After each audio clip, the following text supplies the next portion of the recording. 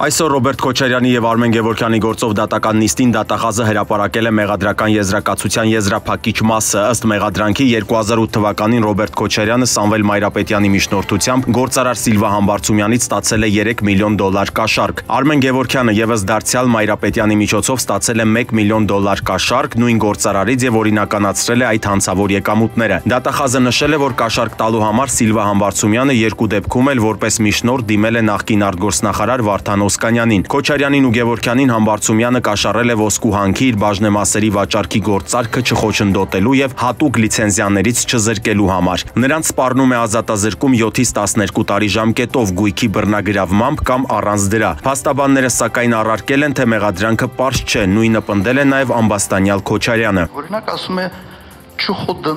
չխոչընդոտել։ Վերջապես պետք է ինձ ցույց տա, թե իմ ինչ լազորությամբ ես կարող եի խոչընդոտել, որ չեմ խոչընդոտել։ Անք շատ բարձ բաներ կա։ Ինձ վերնագրել են, օրինակ ասում են վարչատնտեսական, կազմակերպչական, վարչատնտեսական, տոնորինչական ինչ որ լազորություններ։ Ես չգիտեմ ինչի մասին է, խոսքը չեմ հասկանում։ Այնուհետև փաստաբանները բոյկոտել են նիստը այդպիսով նաև խոչընդոտելով, որ սկսվի ապացույցների ուսումնասիրությունը։ Նրանց նկատմամբ դատարանը սանկցիա է կիրառել, նիստը հետաձգվել է։ Ադրբեջանի պաշտպանության նախարարությունը փետրվարի 15-ին կրկին ապատեղեկատվություն է տարածել, պնդելով, թե փետրվարի 14-ին եւ 15-ին Հայաստանի զինված ուժերի ստորաբաժանումները կրակ են բացել հայ-ադրբեջանական սահմանի հյուսիս-արևելյան եւ արևելյան հատվածներում տեղակայված ադրբեջանական մարտական դիրքերի ուղությամբ։ Հայտնում են Հայաստանի պաշտպանության նախարարությունից։ Ըստ նույն հաղորդագրության իրադրությունը սահմանին հարաբերականորեն կայուն է եւ գտնվում է զինված ուժերի լիարժեք վերահսկողության ներքո։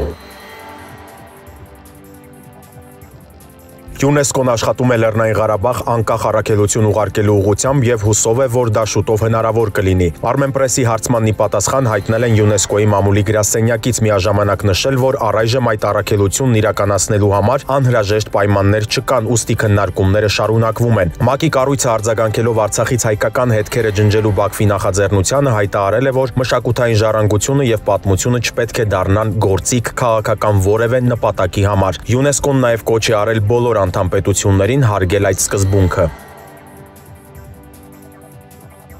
Նախագահի պաշտոնակատար Ալեն Սիմոնյանն այսօր ընդունել է Միացյալ Նահանգների դեսպան Լին Թրեյսիին հանդիպման առիթը երկու երկրների դիվանագիտական հարաբերությունների հաստատման 30-ամյակներ։ Կողմերն անդրադարձել են նաև Ալեն Սիմոնյանի գլխավորած պատվիրակության հունվարին Վաշինգտոն կատարած աշխատանքային այցին։ Նախագահի պաշտոնակատարը շեշտել է, որ Միացյալ Նահանգները Հայաստանի հաստատուն գործընկերն ու բարեկամն է անկախացումից ի վեր։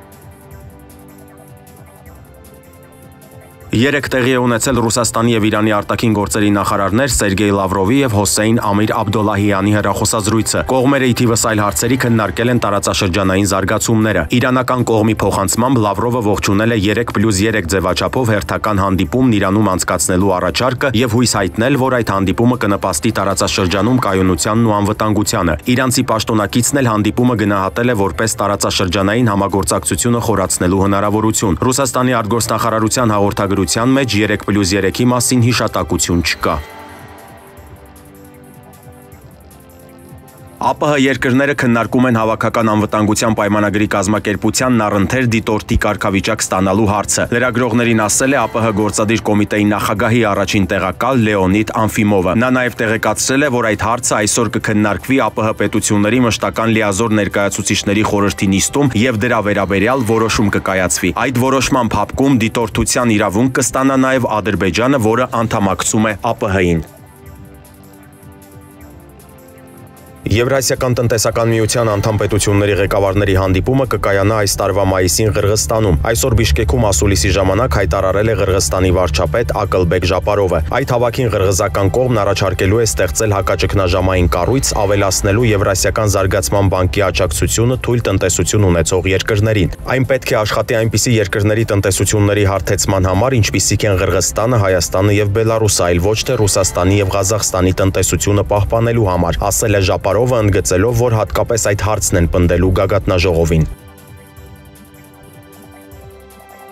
Արցախի տարածքների բռնազավթման մասին օրենքի նախագիծը, որը շրջանառության մեջ է դրվել Արցախի ազգային ժողովում, շատ կարևոր քայլ է Արցախի հիմնահարցի հանգուցալուծման եւ միջազգային կարգավիճակի որոշման ուղղությամբ մոտեցումները հստակեցնելու ուղղությամբ։ Հայտարարել է Արցախի արտգործնախարար Դավիթ Բաբայանը, ընդգծելով, որ նախագիծը կարևոր է եւ քաղաքական, եւ պատմական, եւ բարոյական տեսանկյուններից։ Փետրվարի 4-ից շրջանառվող փաստաթուղթը նախաձեռնել են Արցախի նախագահը եւ խորհրդարանի բոլոր 5 խմբակցությունները։ Այսօր նախագիծը քննարկվելու է պետաիրավական հանձնաժողովում հավանության դեպքում վաղ այն կներկայացվի խորհրդարանի քննարկմանը։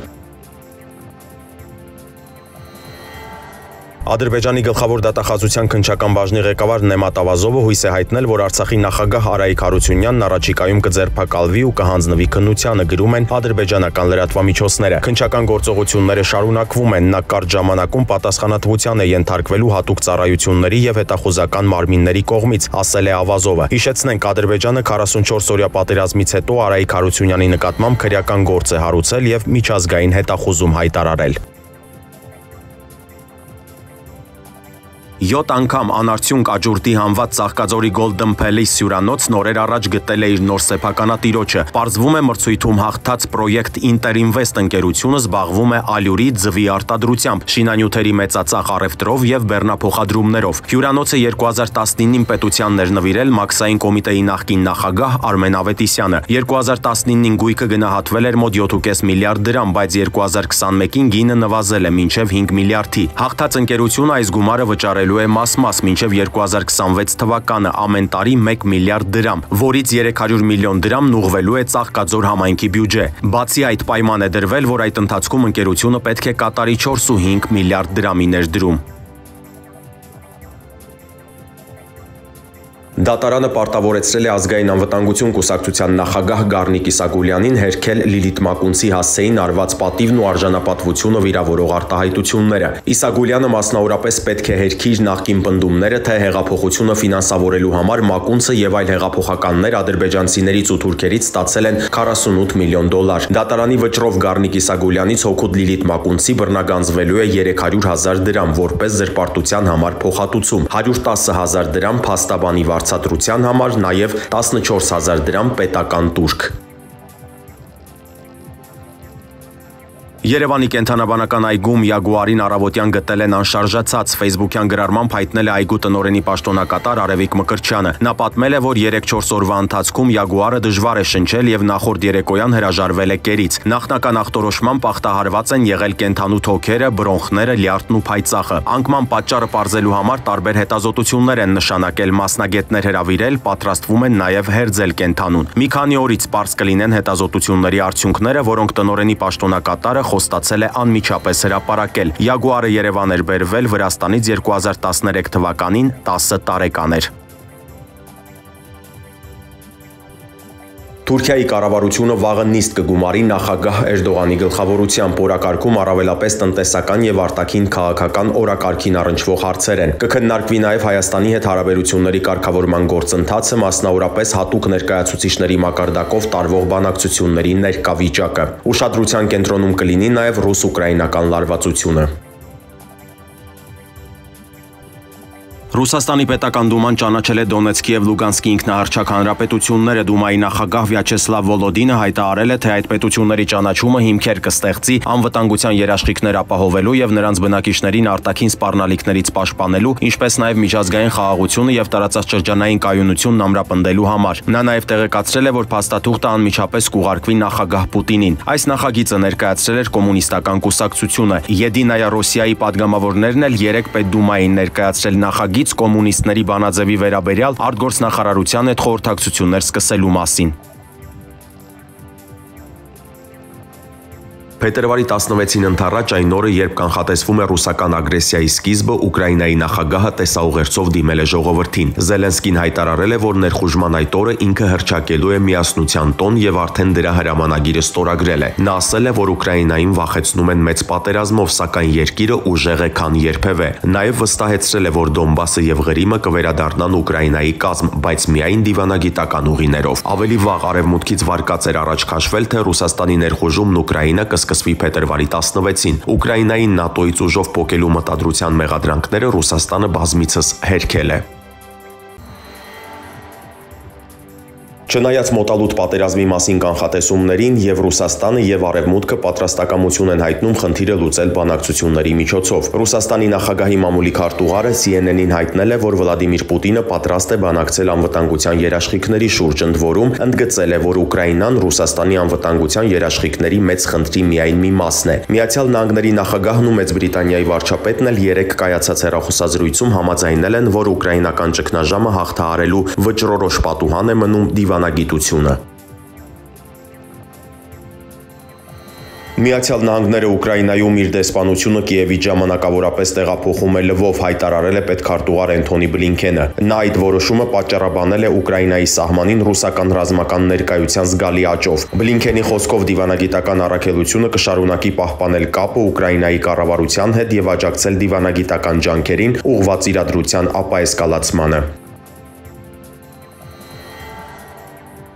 ՆԱՏՕ-ի գլխավոր քարտուղար Յենս Ստոլտենբերգը հայտնել է, որ Ադրբեջանի նախագահ Իլհամ Ալիևի հետ հեռախոսով քննարկել է Ադրբեջանից Եվրոպա գազի մատակարարումների հարցը եւ Ուկրաինայում տիրող իրավիճակը։ Լավ հեռախոսազրույց նախագահ Ալիևի հետ Twitter-ում գրել է Դաշինքի քարտուղարը եւ տեղեկացրել, որ Ալիևի հետ քննարկել են տարածաշրջանային անվտանգությունը եւ Ռուսաստանի ռազմական ներուժի աճը Ուկրաինայի սահմաններին, ներառյալ էներգակիրների շուկաների վրա ազդեցությունները։ Ստոլտենբերգը նաեւ նշել է, որ շնորհակալություն է հայտնել Ադրբեջանին գազի մատակարարումներն ավել ավելացնելու եւ Եվրոպային էներգիայի հուսալի մատակարար լինելու համար։